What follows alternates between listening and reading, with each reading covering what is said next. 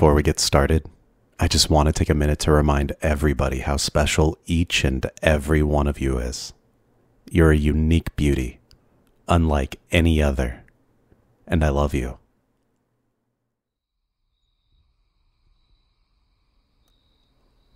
Welcome, hero. I'm so glad you could join me. It's been so long. You never call. You never write. A villain like me gets really lonely. So lonely, in fact, that I have to take to kidnapping a few civilians just to keep me company. Have you met them? Here. Say hello. This one's name is. Well, to be honest, I don't know their names. Why bother learning any of their names when they probably aren't going to be alive for much longer, right? Unless you play nice and meet my demands and save them, of course. And I'm sure you'll save them, right? You're such a goody two shoes hero with a perfect track record. A hero like you always saves everyone. No wonder everyone's a fan. Even me, actually. I don't suppose I could. I could get an autograph. Maybe you could shake my hand or something. Maybe we could take a picture together. It'll be just like one of those meet and greets you always do. Oh, but I- I'm sorry. I'm being such a bad host. Can I get you anything to drink? Tea, coffee.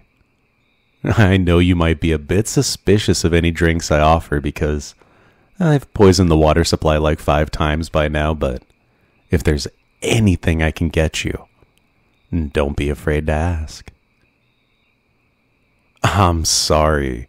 I'm afraid let the hostages go isn't a beverage I'm familiar with. But if you'd like, I could go check if they have it at the store. But you don't look like you're one to be letting me get away. I like that actually. I like that a lot. You're really dedicated to your job. You're a real hero. No nonsense, all business. I made the right choice in picking you as my arch nemesis.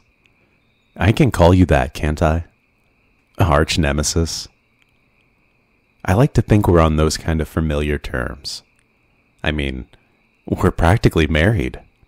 We've been doing this for ages. I kidnap some people, plant a few bombs somewhere, maybe the Golden Gate Bridge, maybe the Suez Canal. Never the same place twice. I like to change it up after all. And then you come swooping in to save the day. Everyone goes home happy, and I get locked up until I escape again. Rinse and repeat. Like I said, I made the right choice in picking you as my arch nemesis. Y- You do think of me as your arch nemesis, right? I mean, who else could it be? You were the first hero who ever stopped me. You popped my supervillain cherry. You've got to take responsibility, right? So, I am your arch nemesis, right? I hope you don't think that stupid poser Skullface is your arch nemesis. Th- They're not a real villain. I mean, you've heard their backstory, right? I do evil because I just want to watch the world burn. What a joke. Wh- What a cop out. That's such a lazy excuse for a motivation. Doing evil just for the sake of it? Please. Get yourself a real backstory. Besides, the whole some people just want to watch the world burn trope has been done to death already. A real arch nemesis, a real villain, should be a lot more like me. Interesting, multidimensional, just evil enough to be the villain, just sympathetic enough to be fascinating. You know, I have an untreatable disease that leaves me in constant pain. So I hurt others so that I don't feel so alone. So I don't feel like I'm the only one suffering. So I don't feel like fate singled me out and said, Hey, you, screw you in particular. You don't get to be a normal person or have a normal life or have a normal shot at happiness. Now that, that is a much better backstory than stupid Skullface's. A real villain should always be a bit of a victim themselves. And I'm a victim. A shame I'm the one person you can't save. Not even the media cares about me all that much. I do all the greatest crimes, more than any other villain. I steal the greatest treasures. I do way more damage than any other villain. I even brought down the electrical grid one time. But the media only ever goes on about all those other posers like stupid Skullface. All because they always, always, always steal credit for my crimes. And the media gobbles it right up. I can't take it. There really is no place for me. No one cares for me. Except for you. You've always taken me seriously. Ever since I was a small fry. You've always treated me like a serious threat. You were even always telling the other heroes who laughed at me to take me more seriously. That I'm a true menace. That I'm a real villain. And I am a real villain. I really love that about you, you know. I really meant it when I said I was a fan. Heck, I'd even really like an autograph. There's so much I'd like from you, honestly.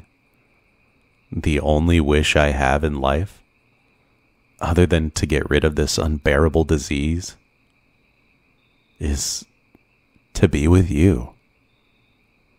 Which brings me to my demands. I propose a deal. I'll let these hostages go. They can go back to their lives or huh, the lack thereof. I honestly don't really care. And in return, you have to go on a date with me. Come on, it'll be great. I promise I'll, I'll put a lid on the villainy for this one. I won't do anything bad. No stealing, no arson, no kidnapping. Well, okay. I might kidnap you if you stand me up. But other than that, I'll be a goody two shoes. Just like you. And I won't kill anyone. Unless Skullface shows up anyway. And this'll be like a break without actually taking a break for you. I know you're too hardworking to actually cut yourself any slack and take a real vacation, even though you could really use one. But th- this'll be like a vacation you do to save the hostages. So it's kind of like work. So, what do you say? And just a bit of warning I already planted explosive chips in the necks of these hostages that I can detonate remotely. So, you should really take me up on the offer. You do want to save everyone, right? You always do. And who knows? Maybe this time, you might even save me.